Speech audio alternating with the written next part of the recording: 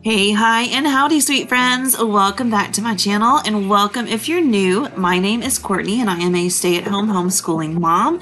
And here on my channel, I like to focus on food and kitchen content. I do grocery hauls and lots of different cooking videos. So if you like that, and I feel like you must because you're watching one of my cooking videos right now, then go ahead and hit that subscribe button, stick around, check out my playlist, and drop me a comment.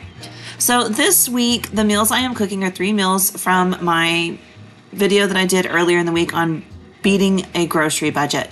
I originally wanted to do four, but we had so many leftovers and uh, we also had one night where my husband and I went out to dinner, so I only ended up cooking three of the meals. But they were all so good, and these are very budget friendly. You can watch my previous two videos on the grocery budget challenge that I did for myself this time. I will link them down below.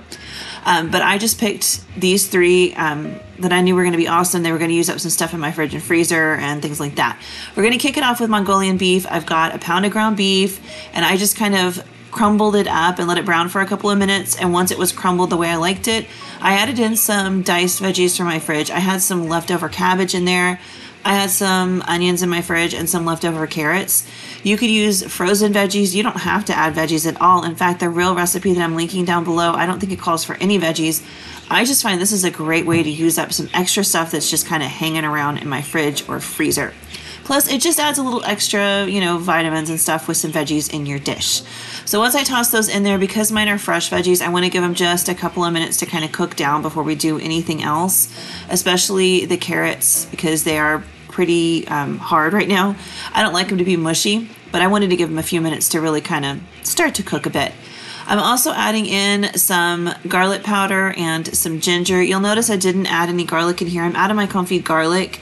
Um, and just because it's so much easier, I'm just tossing in some garlic powder. We all have that on hand, right? And like I said, some ginger you can do fresh. You can do the stuff in the fridge. I just use the powdered ginger and then, of course, some pepper. Gotta have some pepper in here just to kind of spice it up. You could add some red pepper flakes uh, if you want to, if you want it spicier. I'm just kind of stirring it around. You can see there's really not much in the way of liquid in the bottom of here. The veggies kind of soaked up the little bit of grease I had from the ground beef while they were cooking, which is perfect.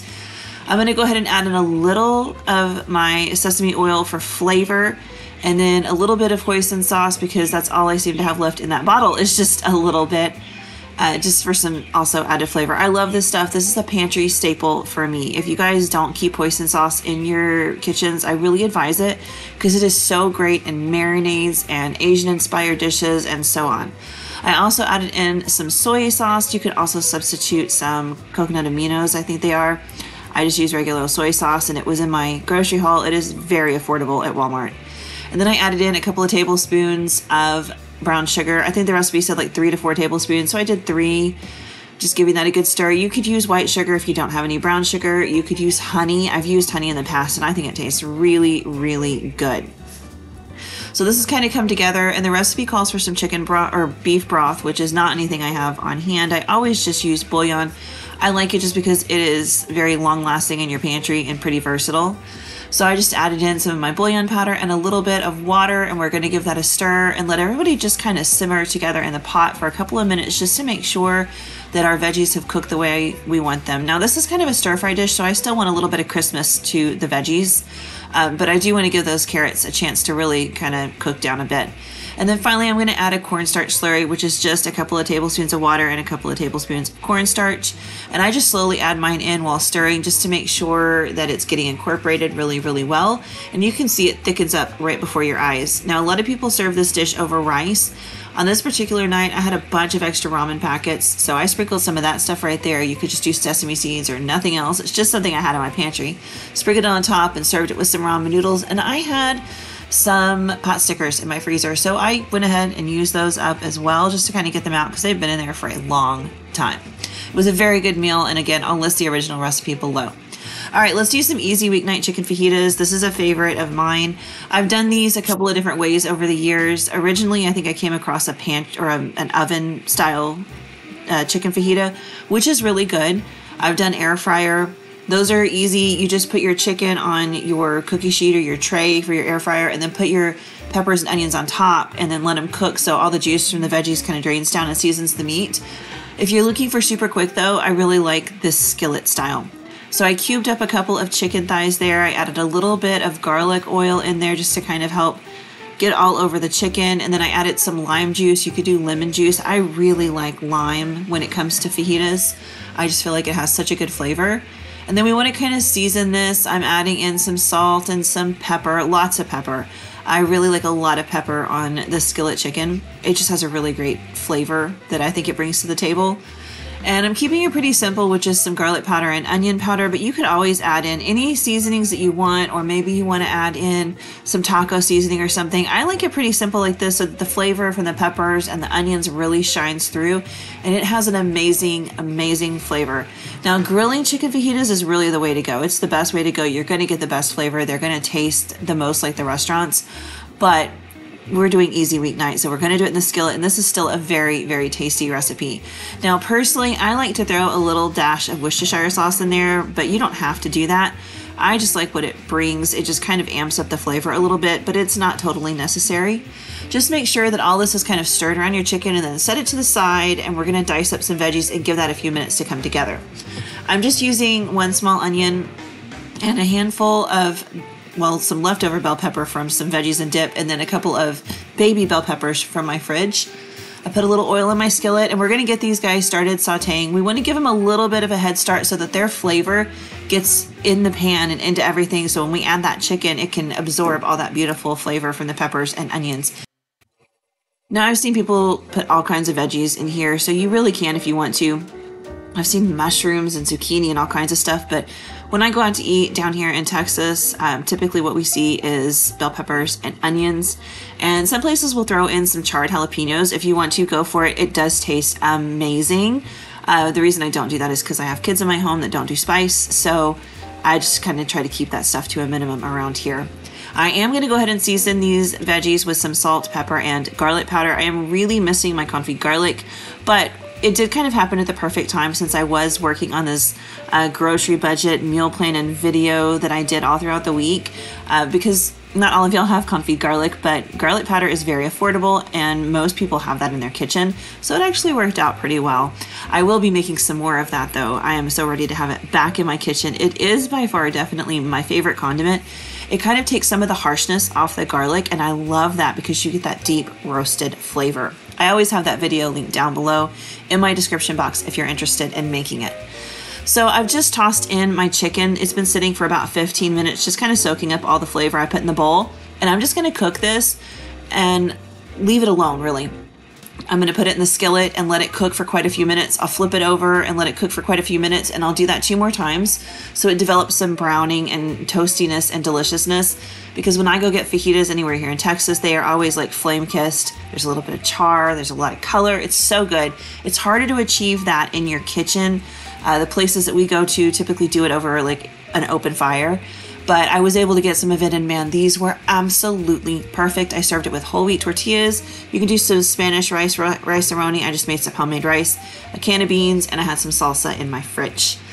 All right, the last meal of the week was chicken spaghetti. This one I don't make very often, and I really don't know why. Um, it's not something I ate growing up, really, but my mother in law used to make it quite a bit. In fact, when I had, I think it was my last, my youngest son, I called her from the hospital and asked her to make me some chicken spaghetti when I got home because that's all I could think about was how much I wanted her chicken spaghetti. So this is kind of my take on it with a few alterations just for stuff that I have on hand and things that we use.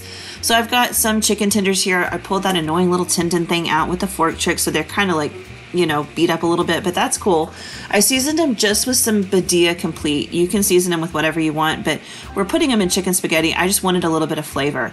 I've got some bacon grease in my skillet. You can use oil, you can use butter. I just have a bunch of it in my fridge. So I try to remember to use it sometimes because I have it and it's free because I've already, you know, cooked the product that it came with. It's just a fun byproduct. So I'm using it today to add some extra flavor. I'm just going to cook those chicken tenders until they're cooked through and a little bit golden brown for flavor. A lot of people will boil their chicken for chicken spaghetti. I just feel like it kind of has a really bland flavor. Not a big fan of boiled chicken personally. So typically I will just kind of alter any recipe and cook my chicken in the skillet for a little bit of extra flavor. And I just think it it tastes so good and it only takes a couple of minutes to do this. It's probably faster to do this than to boil a chicken if I'm being honest. But if you want to, go ahead and boil your chicken. It's all good. You could even use canned chicken. That's cool too. All right, so I've pulled my chicken out of the skillet. We've got that bacon grease with some of the chicken bits left in there. I'm gonna toss in just half of an onion. If you have a small one, that's perfect. Mine was a little bit on the bigger side, so I just did half of it. And we're gonna get that onion sauteing now. Just kind of keep it moving. I'm not gonna worry about cooking it all the way through, but I do wanna soften it a bit before we move on to creating our sauce for our chicken spaghetti. Now I'm making mine more from scratch. My meal plan called for cream of mushroom soup, which is more traditional. Uh, typically, I just kind of shy away from that, and I've been making my own for a while, and I prefer it that way. So that's what you see me doing now. I've got some dehydrated mushrooms. I just buy them at the store, chop them up, put it in my food dehydrator, and keep them on my shelf. And then I just pop them in dishes like this so I can make cream of mushroom soup with my cream of soup base, which I also made here on my channel, and I'll link that video down below as well. It's just like a dry goods for your pantry video where I made a bunch of different um, spice blends and seasonings and stuff like that. But if you don't do that, if you're using the canned stuff, go ahead and add your can of cream of mushroom soup. I've added my dehydrated mushrooms, my cream of soup base, and a little bit of extra bouillon powder. I'm actually using beef bouillon powder to amp it up a little bit because I think it has more flavor than chicken, but you can go either direction. And then I'm just gonna stir in my water and this makes my cream of mushroom soup. You could use cream of anything soup really. Down here at HEB we can get cream of poblano soup and I always tell myself I should try that for this because I think it would be fantastic and I never remember. So I'm gonna try my best to do that in an upcoming video, just make my own cream of poblano soup because I think it'd be fabulous. So you can see this is thickening up pretty quickly. There is a thickening agent in the cream of soup base. Just like that, it kind of all comes together and it is so so good. Now if you're using cream of mushroom soup, go ahead and stir in probably about half a cup of chicken or beef broth to thin it out a little bit, uh, just so that your sauce is a little bit more saucy. So we've got all these ingredients in here, everything's coming together nicely. Chicken spaghetti typically has cheese in it. I would really recommend shredding a fresh block of cheese, but I was in a hurry. I didn't have a lot of time. We were super busy this day. So I took a little help from the grocery store and just used some pre-shredded cheese and it worked out fine. It melts into this beautifully. I've turned the heat off before I put the cheese in there so it just really gets nice and creamy and delicious. And you can see it's melting perfectly. So I got very lucky. I do like the Lucerne brand. I find I have better luck with that than a lot of the other brands. It is definitely my favorite. Now for my recipe that I listed the other day in my grocery haul, I called for a can of Rotel, which I don't typically use. I use this tomato sauce that I buy at Walmart. I had some in my fridge because I used it for something the other day, so I just put in about half a can because this is really liquidy. If you're using Rotel, drain the can and then add in all those beautiful diced tomatoes and green chilies. That flavor is amazing in here. Give it a good stir. I'm adding a little bit more because I could just tell I need a little bit more. Like I said, I did about half a can, and this is what I'm using is closer to a salsa than Rotel and I have chopped slash shredded my chicken because it kind of just fell apart. I'm adding that back in there and we've got this beautiful base. It's the sauce for our chicken spaghetti. I've got noodles cooking right next to this in another pot and I'm just gonna bring them right on over with my noodle scoop. I want to get some of that pasta water in here. I'm going to make sure that I have some on hand because this sauce thickens really, really well. We might need to kind of thin it out a little bit.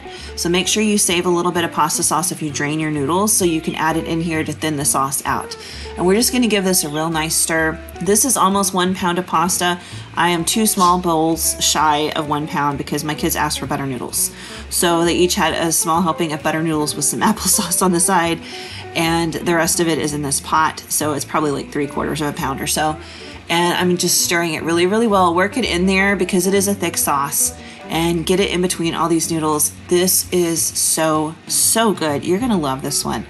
I will list the recipe down below for you guys. I really hope you make it because it's fabulous and it's so easy. This came together in 30 minutes. That was it. All right, those are the meals this week. They're very budget friendly and they do follow my plan from the other day. I'll link that video down below as well.